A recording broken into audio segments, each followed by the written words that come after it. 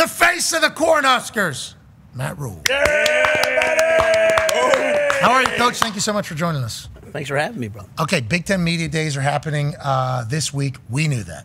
We obviously knew that. We planned this in advance, months and months ahead of time. Mm-hmm. Thank you for making this happen. Stop by the Thunderdome. We are massive fans of yours. As you know, we appreciate the hell out of this. I appreciate you doing this.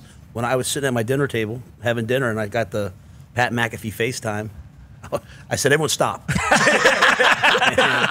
I am a cold FaceTimer. That is that is kind of my MO. Because the way my brain works, it's like we're on this thing right now, and then there's a chance we're gonna be on something completely different Mm-hmm. ten minutes later. So we gotta get answers right now. So as soon as I learned that the Big Ten Media Day was happening, I was like, who do we know that's gonna be here? I literally FaceTimed you. I was like, hey, will you stop by? You said yes, which is why, hey, we appreciate you, Yeah, coach. yeah, coach. Let's talk about the Big Ten Media Days. So, so what is this? So you come into town, you'll be at Lucas Oil Stadium. You're talking to every media company, and then what is it? Just same questions. How do you feel? What does the team look like? All that type of stuff. Is that what this week is all about here in Indy? Yeah, it's it's like twofold. It's like um, you know, I'll, I'll have some time where I'm up on the I'm up on the the mic talking to everybody. I'll have some time ESPN, Fox, CBS, NBC. Um, but then there's also that they take in the back and they do the stuff, the promos like. What's your favorite Halloween candy? You know, so Oh, so you're spinning a football slow Yeah, motion. yeah, yeah. You're doing that entire You're, thing. doing a little bit of that stuff, but uh, but yeah, you get a chance. You know, I, I got three of my guys here, so you know we'll go to dinner at St. Elmo's. We'll go out there tomorrow with five other teams. You know, kind of give them a quick look over, like how you doing, and then get back to the media. Okay, so who are the three guys? You got the uh, quarterback. No, no, I got. Uh, I, I always bring seniors. I think like the guys who've been through the program and battled. So I've got Ty Robinson, our D tackle. We got Isaac Gifford, our free safety, and I got Ben Scott, who's our uh, who's our center. So three three great three great guys for us. I like the fact you got to earn it. Okay, if you're going to represent our program, you got to be at least mature. And obviously, the quarterback position is going to be something somebody's going to ask about. And I can't wait to hear your answer. But I would like to talk about the team as a whole right now. We're not ranked, right? Not ranked. We love that or hate that? We love that. Okay, we, we do love that. We, We enjoy that. that. because your history in college football. Obviously, Carolina Panthers are what they are, but as soon as you got back into college football, we got very excited because your track record says like, okay, once Matt Rhule gets with the program, he's going to build it and build it the right way and going to play great football. Did it at Baylor? Did it at Temple? Nebraska with all the I want to say everything available. Nebraska is a first class operation, obviously, a lot of championships. You got to feel good with where the development um, of the team is. How do you feel about the, the process of you building a college football team like you have in a No, I, well, first of all, I love I love building college football teams and being a part of it, and um, I feel great about where we are. Honestly, I think we have a chance to be a pretty good team. And um, I mean, we were a great defense last year. We were top 15 in every category, and we really struggled offensively. And so I think we're better. I think the guys grew from it. So, man, I, I love where we're at. You know, I, I kind of, as you said, I kind of like being able to sneak up on people and, and be the team that no one's really sure about. So. Um, you don't have that very long. Once you've established yourself, everybody's gunning for you. But for right now, we'll kind of we'll hide in the radar. Year two of Matt Rhule programs take a step. Year three is where I think the magic really starts coming if we look back on your track record through this entire thing. Head of schedule as compared to other places, or wh- where would you judge yourself? Yeah, way ahead of schedule. You know, the, the buy-in from the players when I first got to Nebraska was really cool. And I just said to them, I said, look, my first year at my first year at Temple was two and ten. My first year at Baylor was one eleven. Like, let's just jump to year two. Let's skip all the. let's, and I'm a little older now, right? Like, you know, I was. I mean, I was a hard charging. Like, I'm a little older now, a little more mature. I was like, hey, listen, like, I'll, let me. I'll tell you why we're doing things, but if you'll just buy into it. And so we, we, you know, we finished five and seven. We had five losses by by three points or less, and so Okay. it was brutal. But to those guys' credit, man, they just kept coming back, and so you know, maybe we'll be a year two team. Maybe we'll be a, you know, hey, make a couple steps. But I'd love to make a jump. I'd love to be a real good team. 12 team playoff, obviously, we've chit chatted about uh, is since the announcement. Kirk Herbstreit looks so good with this. Oh, man. social- he's got his eyes are popping. Mm-hmm. He's got this tailored suit. He's real thin now. Oh, yeah. Isn't he? He's like super. Oh, yeah. Almost jocked. Yeah, he's like jocked almost. He's talking about the 12 team playoff. Obviously, that changes everything for everybody. I, I mean, there's been a couple projections. I think got Liberty sneaking in there because it's the highest rated non Power Five champion, and everything like that. Big Ten is obviously going to be a conference where you can slip up a little bit and still make it with the way the future of football looks. How happy are you to be in the Big Ten? How happy are you to be at Nebraska? And what are your thoughts on the 12 team playoff? And how, do you talk about it with your team? Uh, yeah, I talk about it this time of year. I mean, I think I think when you're sitting out there and you're running in 110 degree weather, you, you better be reminded of why we're doing this. Like we, we want to get to we want to go play for the ultimate game, and it, it would be irresponsible of me to walk every day past five national championship trophies and not talk about winning championships. Like it, it's been proven you can do it there. So. You know, that doesn't mean once the season starts, man, we'll get very focused on each day. But I think right now we need to talk about, hey guys, this is what we need to do. We need to win each day, win each game, and put ourselves in position to go play for it. So I'm, I'm grateful to be in the Big Ten because um, you're going to have more access. You're playing the best teams. I mean, Yep. if a year ago you would have said to me like, "Hey Matt, uh, we're going to sign, you're going to have you play USC and Oregon as your two non-conference games," I'd have fought somebody. Well, now, well, now in, we're in the league now, right? And so, and we play, you know, we play nine conference games. Not every conference does that. And so, um, you have five road conference games every year. It's a difficult league, and so I think if you can be in the mix in the Big Ten, you have a chance to get into the playoff, and then once you get into the playoff, it's about who's healthy, who's got the most depth. You know, weather's going to play a factor. Like there's going to be home playoff games in the first round. So, I mean, I'd love for someone to come to Lincoln and play in, in December. That'd be all, that'd be a lot of fun. That's a dream for I think for every school, including University of Iowa. Ty has a question for you. Yeah, not quite the same. We went to Lincoln in November last year and won, but uh, that's neither here What's nor that there. all about, coach? They won. I, We did. I have. What they get three first downs that game? I, I mean, Oh, how, how is that it- even? It, was a cagey affair. It was a 13-10 final. Like Tory Taylor win that thing? Uh, he was a big part. Yeah, big part. Uh, quarterback, obviously, that that was part of it too. And and I've said time and time again, I hate that you're the head coach at Nebraska now because I know that hey, you can't just rest. Listen, I was going to win the the Heroes game the day after Thanksgiving. That that might not be the case anymore. But you kind of mentioned it going under the radar and and being unranked.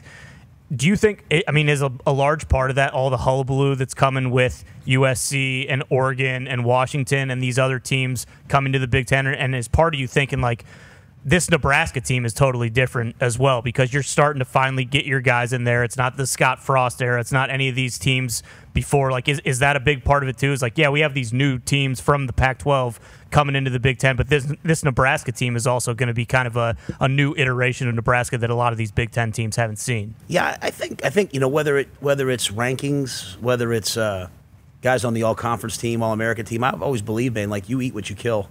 Like you know, like if you want if you want recognition, then you got to go do it. So, like like the the talking season is like it's for the people. You know, it's for the guys who won last year. Oregon comes into the league and they're they're a top team in the country because they've earned it on the field. Washington played the national championship game. USC won 11 games two years ago, so people should talk about them. We haven't been to a bowl game in eight years, and so as much as I want to be in the national picture, we also have to we also have to play a 13th game. Mm-hmm. And so I, I have no problem. Like I, I believe in humble confidence. I learned that from Tom Coughlin. Like I would love to just keep our guys right there. But that doesn't mean that we don't have confidence. And that doesn't mean that we don't expect to be a really good team. And I, I think people that are recruiting against us and, and preparing for us, I think they think we're going to be a good team too. Oh, you think they know? They think. Well, I think it's because of you. I think people just respect what you have been able to build in college and the way you've gone about doing things in college ball. But you just talked about there about the giant. Like you're an NFL guy though, right? Did you started as an NFL coach? Is that accurate? No, I, well, I mean, I, I, I was in college for a long time. I went to the NFL to, with the New York Giants under Coach Coughlin.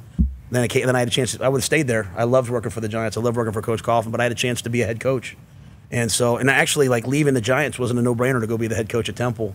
Um, but uh, I've, I've had to bet on me. And Do you think you run a more pro style uh, operation in college, or how do you think you? And is there is there a big difference? Do, do people make a hullabaloo uh, about what a word? Yep. What a word by Yetz Iowa, by the way. uh, he was accepted to Harvard though.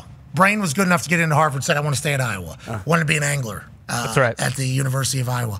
But do you think there's too much made about college and NFL and the styles in which you go about doing things, or is it two different animals? No, I, I think I think too much is made. I mean, I, I think you know, if you watch the Kansas City Chiefs play, you're watching you're watching a lot of cool things that you see on college football in terms of the style. You know, the, the differences are, you know, we have, you know, 105 guys on the roster. We have 85 scholarships, so you know you can play tempo. You know, you don't have to. You know, 53 man roster. You know, you try to play tempo, and the guys are worn down after four or five games. So it, it's just a whole different game in that regard.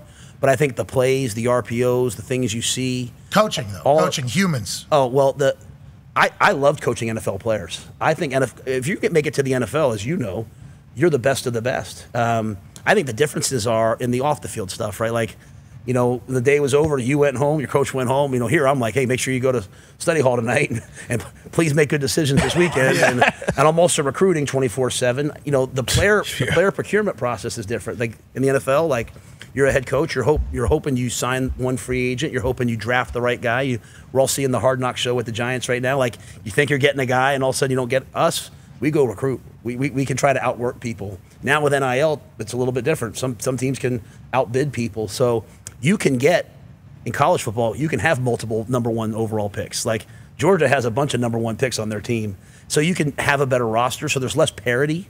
But I think people are people, uh, and just the NFL guys are the, the highest form of, of great athletes. You talk about recruiting and signing free agent. Number one quarterback comes to Nebraska and Raiola, Raiola, Dylan Raiola. Mm-hmm. And I saw the spring game and some clips.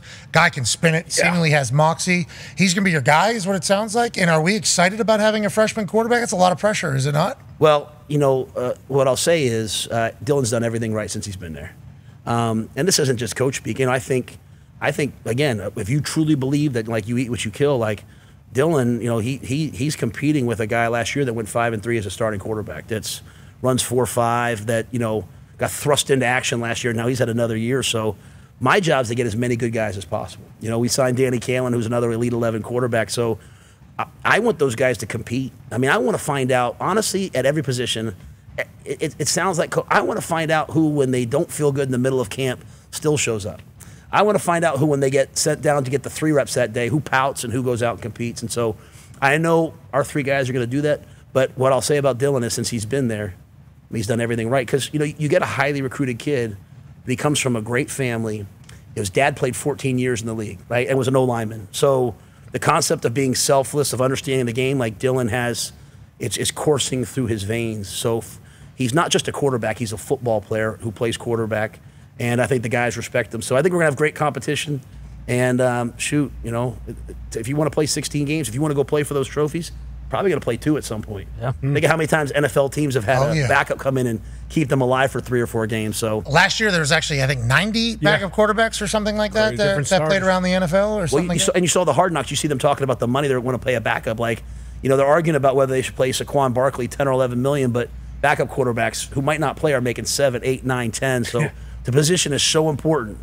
Uh, let's get as many of them as we can. Yeah, and it's a long season, as our coaches up here on the stage will yep. tell you, because they've already played a season with the 12 playoff games. Uh, Coach Dutch Danger actually has a question. yeah, actually, I've played a few, and let me just say, you know, not to the chagrin of you, but yeah, boy, I beat the brakes off Nebraska in the college football playoff. Uh, He's I'm a Utah sure, Utes, obviously. Yeah, yeah, yeah, Coach Dutch Danger's been at Utah for quite some time now. We're going into year five now. We got four. That's him right there, Coach. Yeah, yeah. that's what everybody's trying to do. there we are. That's what we're all doing. Uh, right there. Yeah, it gets you one of those, Coach. But uh, no, one of the biggest things in this game is recruiting, and like I don't think that any of us really knew going into it how much. Obviously, the video game, of course, what that is, but it just in general how much you have to do. One of the things is like you know you're looking at social medias, then you're contacting the family. Sometimes you got to send the house, that, and that takes 50 hours. That's, that's sometimes you get locked out. Sometimes yeah. you get locked out. Yeah, you don't make it into those top three schools that the kids kind of get down to. Uh, for you though, when it does come to recruiting, how much are you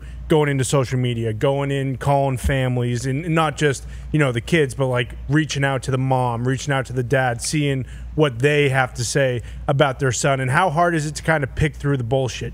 Because obviously, when you're reaching out to families, they're going to put over their son more than anything. But how often does you know the other things like the social medias not reflect what you know you're hearing from their coaches or things of that nature. How hard is that? And then how much are you kind of divvying up between portal and also high school? Like, because that, that's something I'm trying to kind of. Coach Dutch Danger's yeah. trying to manage. Yeah, Coach, Coach Danger's trying to kind of figure out if, if you need to spend a couple more hours in the portal versus you know these that. high school boys. Oh my god, I need to start playing the game more. These guys won back-to-back national champions. Yeah, I mean, I'm in year I'm in year 2027, so I'm a little ahead of the eight ball well, when it comes all, to your recruiting. It's an honor. I had no idea what I was getting into. No, yeah, you didn't know who you were in the presence of. Uh-huh, that's right. I, I, was one. My son's been downstairs for literally for like three days, and like I haven't heard from him. And he's, in, he's recruiting. Yeah, he's, he's, he's recruiting. He likes yeah. building programs just like his poppy. I'm, I'm glad. The, the thing about it, I, don't, I haven't played the game, but like the thing of it is, you can sit in someone's house for 50 hours and do all this work and then n- not get them. Yeah. At the very last minute. So like it's it's a high stakes, high stakes. All the things you're talking about is what we do though, and um, like even the era of like tech, like there was a while where it was texting, mm-hmm. but like texting's not really anymore. Kids are getting five thousand texts if they're a good recruit. So it's it's being on the phone, it's FaceTimes, it's calls. I mean, even in season, uh, over an hour of my day is spent on the phone with families and with kids, and you know because that's that's the lifeblood of the program. Yeah. So. It's all real. It's all. I think. I think all of us, whether you're in the NFL, getting free agents or drafting people, you saw that in the Hard Knock show. Well, it's us you're trying to figure out who the person is going to be in the program. Like, You know, do they love football? Are they going to be able to handle adversity? Are they going to be a part of the team? So you're trying to balance like elite talent with elite character and, and elite football character. So it's it's a it's a just think about I don't know what it's like for you like hiring people and, and the people I you guys work with. I like, don't. I don't hire people. I hate it. So these you guys they, Been around a long time. Yeah, we just came and we Yeah. never left. Yeah, I love that. Uh, yeah, Yeah. yeah. Yeah, so I we have hired, and it is certainly a thing. Right. I hate it. I'm very worried that what we have. I would like to bottle what we have and just hang on to it for as long as we possibly can, as opposed to mass expansion and let it just bring on more players. Eh. I don't know how you sort through like how do we keep what we have or how do we build what we have without the worry of like somebody coming in and ruining it all, which can happen in in human instinct. Is it's possible. so so often for like for like people who follow recruiting, it's about who you don't get. Like, oh my gosh, we didn't get. I'm always so like I'm concerned about who we do get. Like when I find someone, whether it's someone I hire or whether it's a player that comes from like the right family, like that's got the right hunger, that's got the right edge and toughness. Like I, I need guys who like. I don't need every, everyone on my team doesn't have to be a superstar that's been. I mean, I need guys who are like grimy and gritty and tough and are willing to fight for. Talking about they Team. USA right now with the Olympics, the basketball team. Yeah. They're trying to figure out who are the people that are like the glue. You need the glue. You need to Exactly find the glue. right. How do you recruit the glue? You just ask. You know, you ever see ever see the ever see the Kobe Bryant deal when they talk about with, the, with they're on Team USA and he I forget who he ran through uh, Paul Gasol. He said, "Hey, I'm Oh, gonna yeah. run through Yeah. his face." Yeah. Like I need guys on my team to quote Marshawn Lynch without the cuss words who are going to run through somebody's face. Yes. Like I need I need those guys, and that doesn't always show up in recruiting. So to me, recruiting is about finding the guys who are going to be right for you, and who are going to fit for you. And you know what? I, some teams are first or second in the recruiting rankings every year. Like to me, it's just about hey, who is going to come there, who's going to thrive in your culture, Exactly, my program. who's going to do what Coach you want. Dutch Dangerous. Uh-huh. And that's what's hard about the portal, right? Because the portal, like, there's no six month recruiting period, man. It's like they hit the portal, you got about a week to decide are they right for you or not. And Oh, yeah. so, um, you know, it took me a long time to ask Julie to marry me, and she's the best thing that ever happened to me. So, asking a guy to come play for me after a week of knowing him is really hard. So, Are you a big transfer portal guy? I don't think you are, right? not much, no. You know, we we um. you will if you need a piece. I see. Yeah, yeah. I just feel like if you come to play for me and you had a bunch of options and you decided to come play for University of Nebraska and you're in the program, then you shouldn't have to all of a sudden be like your junior year. Some guy comes in, he plays ahead of you just because he got more NIL money. Like to me, if there's if there's a hole there, yeah, well, we go get somebody. So we'll always look to improve our team. But I just don't feel the need to. Sometimes as coaches, like they'll look at their team and say, "Well, I know what's wrong with him." They're always trying to improve it. Well, how about you just coach your own guys, and how about you just develop your own guys? And I think when you look at the teams that are winning at the highest levels, they have some portal guys, but they recruit at a really high level. How do you feel about you being a perfect fit for Nebraska? Is that how you feel? I know you haven't been there long, but I, I feel like, and I've never, have I been in Nebraska? I don't know. Hmm. I don't know if I've ever oh, stepped foot in the state of Nebraska. They're crazy. Oh, College World Series. Yeah, I've never been. We, I've been. I've heard. though. Been Have invited. you guys done the want to. College World Series? Yeah. No, we're going No. next year. Rocco's the whole thing. I get it. You guys are buying jelly Incredible. shots. I get it. I've heard it's awesome. People have sang Nebraska's praises for sports fans in the women's volleyball thing. Like Amazing. That was nuts. Amazing. Like it mm-hmm. sounds awesome. But the way you talk and the way you describe what type of team you have, I assume that people in Nebraska respect it because they're high football IQ fan base out there in Yeah, Nebraska. no doubt. They're, they're football people. Like I, I was in Texas at a coach's clinic, and I saw a guy who's uh, Nebraska alum, and he said, "Hey, can you can I put you on the phone with someone?" I put he put me on the phone with his 84 year old mother in Lexington, Nebraska, and I'm talking to her on like the house phone, and she's like, "I watch every press conference, coach. Keep doing what you're doing. Like that's real. Yes. that doesn't happen everywhere. It's it's just you know we don't have a pro team. This this is the pro team. They you know, they're out there from the beginning of warm ups to the end of the game, and um, you know at, at the end of the day, you said something very nice earlier. Like, well, people are thinking Nebraska's be good because of me. I don't know that it's that. I think they see what it has been, and if you can get it on track, we have the facilities, we have the fan base. In this new Big Ten, we're in the middle of the country, so you know we're not going to have to travel East Coast to West Coast. We'll we'll have manageable travel. We're good at a lot of sports. We won five Big Ten championships this year. We got nine kids in the or seven or nine kids in the Olympics. Like we have athletic excellence. If football gets itself together, we should be a powerhouse because we've been a powerhouse. Yeah. And so I looked at it like, man, like I went to Temple. I loved it. I love Temple, but I was trying to do something there that had never been done. I went to I went to Baylor, and Coach Briles had had a lot of success and all that, but I was still trying to get it to a place that hadn't been. I walk by five natties every day. Yeah, they, So- they're telling you. That's right. Hey, Hey, pick- pick it you up. need to get to. Yeah. get Hey, back welcome here. to stay. Let's uh, Let's, uh, yeah, you've done good. Yeah, we're proud of you. Very proud of you. Uh, D-But's got a question. Yeah, the legacy is there. The tradition is there. Black shirts, obviously know about that. What went into hiring your new uh, secondary coach, Butler? Been around the game, obviously, for a long time. Coming from the pro game as well. Did great things uh, in Buffalo with the Bills. Who's this? Uh, John Butler, new secondary coach. I mean, I can just already know he's a great defensive mind with the last name. But what went into uh, Coach Butler and uh, hiring him? Yeah, you know, I, I've known John a long time. Mm-hmm. Kind of got in the business at the same time, and you know, uh, lost our secondary coach this time of year. That, those things usually don't happen. Yep. So, um, but I had a chance to coach against him even in the NFL. Like I went up, played against the Buffalo Bills, Micah Hyde, Jordan Poyer. Like, it, you talk about recruiting. When you come to Nebraska and you're like, well, I want to go to the league, and well, all the coaches either coached or played in the league. And our DB coach just coached the the, the top five passing defense in the league five Yeah. years in a row. Like, okay, they- they're going to help me get to where I want to get because just as much as guys want NIL, I want them to want the NFL too. And so, um, putting guys there like John that are great teachers that have been at that level, has been the defensive coordinator at Penn State. Um, I know this. I'm a much better head coach when I have great players and great coaches. And so, John, you know, John was kind of sitting out. We've known each other a long time. I had an opening. Man, I'm blessed that he took it. Yeah, bring him to Nebraska. Anytime you get more experience in there, it's good for recruiting too. This Mm-hmm. guy's been there. You know, you can sell the entire NFL thing. A guy who wrote a full college football preview has a question for you from Hammer Don Ton Tone Diggs. Yeah, I did, coach. And one of the big things was uh, studying your schedule when I was doing that preview. And I, one thing I noticed, I got you. Now you don't have to comment on this. I have you favored in your first seven games of the season. Now, but those first four games, those first four games are at home. You talked about how good the defense was last year and how the offense, you know, needs to make some improvements. How big is it, whether it's Raiola or another quarterback? How big is those first four games being at home to kind of get their feet wet and that offense to kind of get clicking before you get into that back half of the schedule? And shout out to the AD. Yeah. Four straight. Smart man. that's, that's a big play. Well, it's the first time I think since you know, Keith's back there since 2019. that We haven't been one and zero at Nebraska since 2019. Man. and I think we started with a road or a conference opponent, you know, in, most years. So it's a little different schedule this year with being at home and all that. Um, I, I'll be honest with you, I love it. Like it, the the pro game, being on the road and being home, is not quite as much. Like I, I didn't do a great job last year. We went to Minnesota. It was a it was the first game of the year. It's a gold out.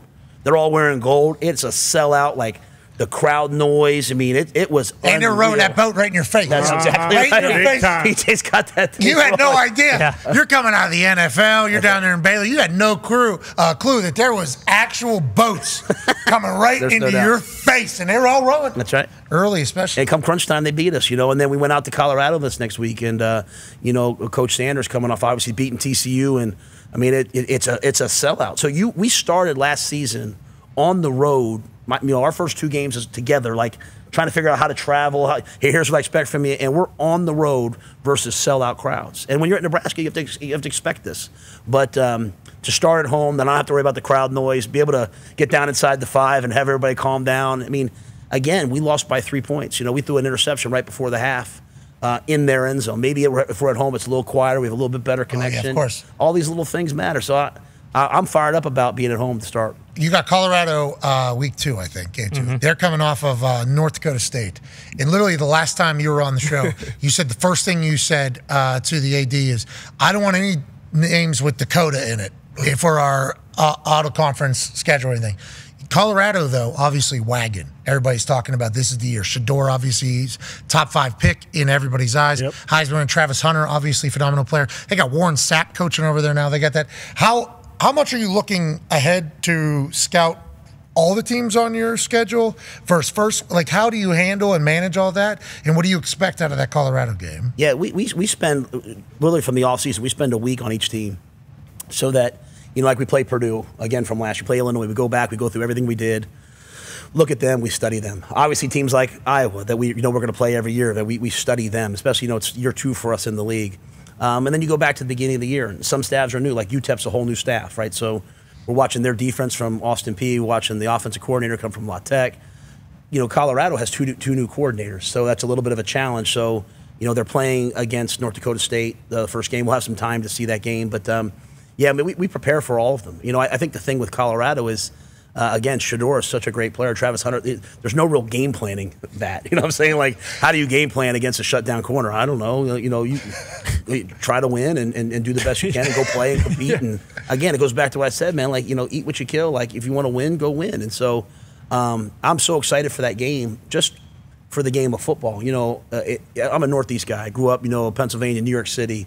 Like, like I want college football to be in all 50 states, and I don't want it just to be only in the SEC and only here in the Midwest. I, I love that we got like a little old old school Big Eight, Big 12, Colorado playing Nebraska. I love the fact that they're, you know, Washington went to the national. I think it's just good for football.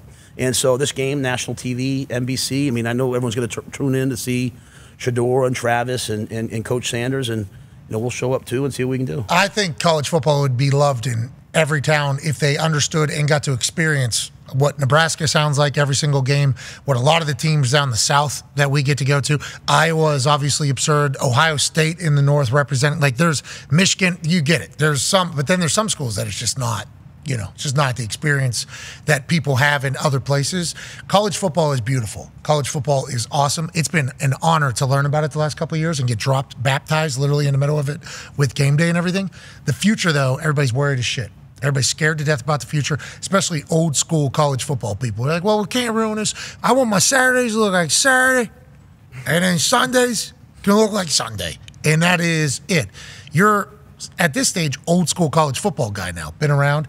A lot of these older college football coaches kind of you know, I don't want to say negative about the future, but seemingly anonymous sources are coming out from one tenured college mind that doesn't love the direction in which college football is headed. What is your view on it all? Do you get asked by people what you think should happen going forward and like the guardrails of shit that should happen? Like, what? How do you manage it all, and what are your thoughts on the future? Well, I mean, 12 game playoff is awesome. It's Yeah. Great. Incredible. the more we think about it, the more excited I get about 12 game playoff. I don't have to play it, coach it, recruit it, none of that. But just as a fan, I'm pumped about it. But the future of college football, how do you feel about it? And do you get asked about it? Well, I think college football um, is always going to be strong. I think it's, uh, if we're being honest, I think it's probably the second most popular game behind the, besides the Definitely, NFL. So I think it'll always be strong. I think the thing I worry about is is the you know the group of five and the FCS. Like I coached in the MAC, it was awesome. Like I'm telling you what, like going to Ohio U around Halloween and trying to play at Ohio University is an amazing experience. And so I don't want to lose those things, you know. And um,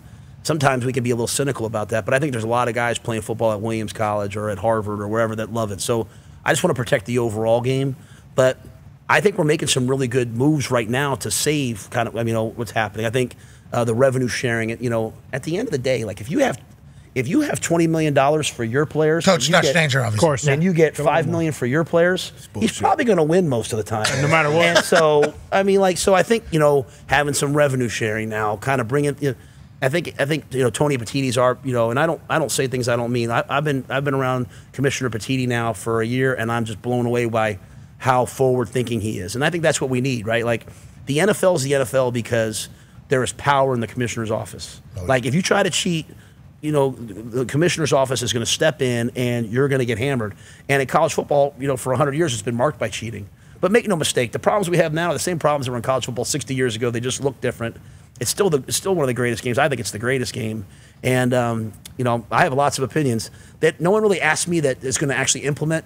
You know what I think? What- what's the one- what's the one Well, I think just pure transparency, man. It's like, hey, if I'm if I'm giving you if I'm giving you ten thousand dollars or hundred thousand dollars, like just like in the NFL salary cap, I want to make sure we all know what it is because you know at the end of the day, you have a right to know. And what I don't like, the only thing I don't like is, I love guys being able to transfer. I love guys being able to monetize their value. I hate seeing kids go to three or four schools because people are just paying them to leave for a worse. They're paying them to come be a backup. And what you're seeing now is what you saw this year. The underbelly is guys were brought in out of the transfer portal for the spring, and at the end of the spring, the coach is like, ah, he's not good enough, and they're they're getting rid of them. See, everybody thinks the portal is the kids unhappy.